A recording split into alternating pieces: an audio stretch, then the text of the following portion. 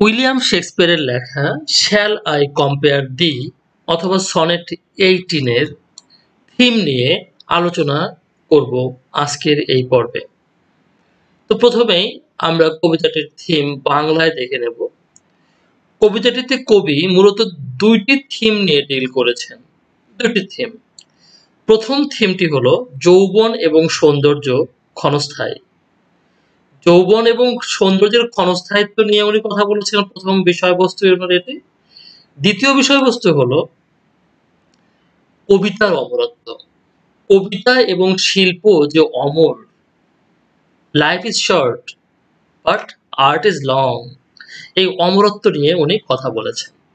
তো আমরা এই দুটোকে একটু বিশ্লেষণ করে দেখি।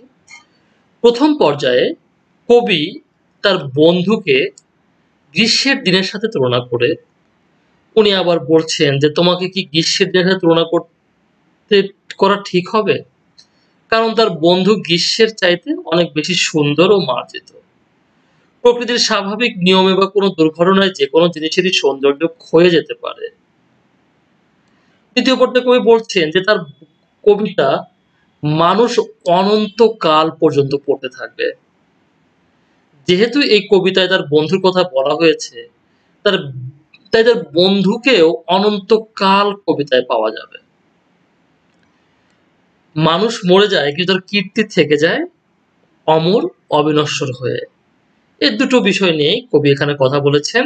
একটি হচ্ছে সৌন্দর্য, যৌবন শেষ হয়ে যায় হ্রাস পেয় এবং একসময় ধ্বংস হয় এবং শিল্প কবিতা বা এই ধরনের শিল্প যেগুলো থাকে, এই কীর্তিগুলো অম্লান থেকে যায় আজীবন।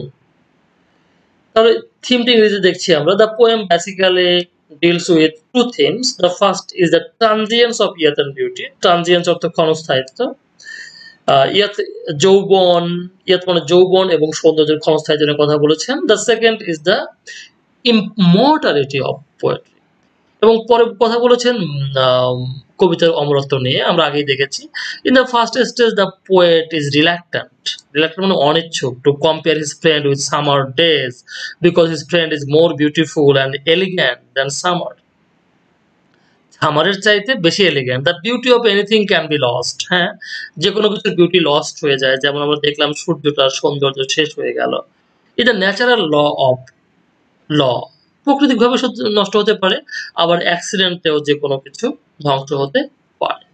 In the second stage the poet says কবি শেষ স্টেজে বলছেন যে we continue to read his poems for eternity যে লোকেরা তার এই কবিতাটা অনন্তকাল পর্যন্ত পড়ে থাকবে। যেহেতু এই কবিতায় তার বন্ধুর নাম উল্লেখ আছে, যে মেনশন মানে উল্লেখ করা আছে his friend will also be found তার বন্ধুকেও পাওয়া যাবে ইটার্নিটি পর্যন্ত, অনন্তকাল পর্যন্ত। Man dies but glory remains immortal হ্যাঁ মানুষ মরে যায়, কিন্তু তার যে কীর্তি, তার যে গৌরব, এটা কিন্তু অমর হয়ে থাকে। যেমন শেক্সপিয়ার নিজেই কিন্তু অমর হয়ে আছেন। তার বন্ধুকে অমর করার কথা বলে উনি নিজেই অমর হয়ে আছেন। ওকে থিম আমরা এখানেই শেষ করছি।